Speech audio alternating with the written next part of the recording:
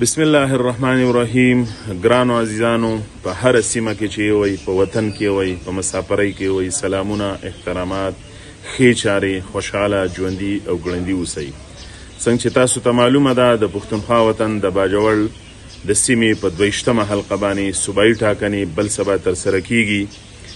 تاسو د هر څه وینئ چې د تیر یو کال نه بیا اتم د فرورۍ یوویشتم د اپریل او تر د یولسم جولای پورې موږ د دې قام هرې سیمې ته هر کلي حجرې جومات ډبې ته او بازار ته ورلو دغه غږ هم دی په دې قام باندې چې بیدارۍ په کار دی د امن د پاره یو کېدل پکار دي د خپل وطن د آبادېدو لپاره یو کېدل پکار دي او دا غي سره سره چې نور ډېر مسایل دي ستونزې دي موږ ته په دې خاور باندې د افغانستان سره تړلې لارې د نوپاس تاریخي لار پشان دغه رنګ د ګوسړۍ د لارې د ګاهي کنډو د کږې کنډو او تر د لټۍ کنډوونو پورې لارې زمنګ بندې دي دا دې پرانیستل شي د دې لپاره په تاسو ټول ولس باندې غږ کوو چې په سیمه کې څومره هم زمنګ پښتانه وي عزیزانې وي تاسو ټول په اتفاق سره په یووالي سره نارینه زنانه ځوانان بوډاګان بل سبا که هر قسم حالاتي هر څنګه حالات جوړیږي ان شاء الله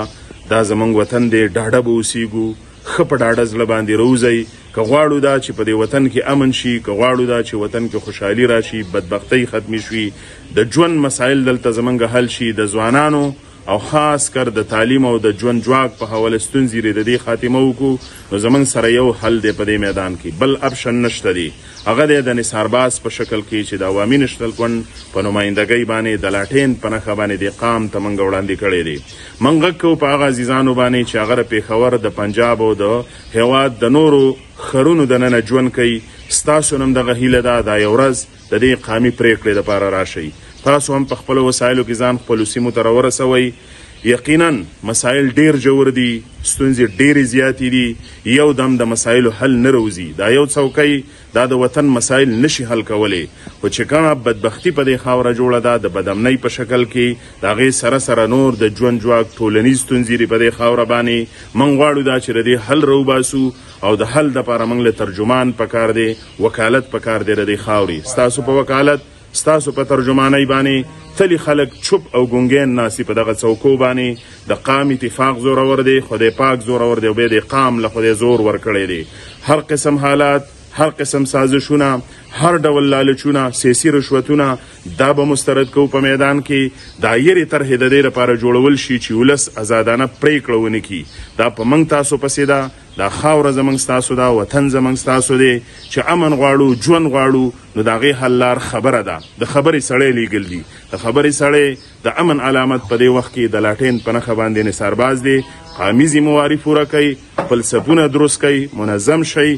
سیمه کې وي هم روزي او چې بار څومره هي وي هم سیمه ته ځان راورسوي دا د رورولۍ غږ د باندې کو دا د قاموالۍ غږ د باندې کو دا غږونه به غلی کیږي نه ټاکنې وی او کنه وی که هر ډول حالات وي خو د نثارباز په شان ته کې دغه د قامي نظریه او بیانیه دا غږ به په دې خاوره کې ژوندې خو ستاسو د قام ذمہواری جوړیږي دا اختیار ستاسو سره دی چې تاسو چاله رای ورکوي تاسو څوک نمائندګۍ لغواړي هغه سړی به ستاسو وړاندې کیږي راځي چې سیاسي پریکړه وکړو قامي پریکړه وکړو شاندار پریکړه وکړو چې دا سیمه ټولې پښتونخوا ته داسې وځلیږي چې دا ولس نور بیدار دی هر ورځ غلطۍ نه کوي هر ورځ تېروتنې نه کوي د شهیدانو د کورنو سره د وژل شوو د کورنو سره د وطن د بدبختو سره د امن سره همدردي همدا ده چې موږ د ګړار خلک خلک ولیږو د خبرې خلک ولیږو او هغه په دې میدان کې نثارباز دی هیله لرو چې زمونږ به مټې کېږئ زمونږ به ملاتړ کېږئ وما لینا الا البلاغ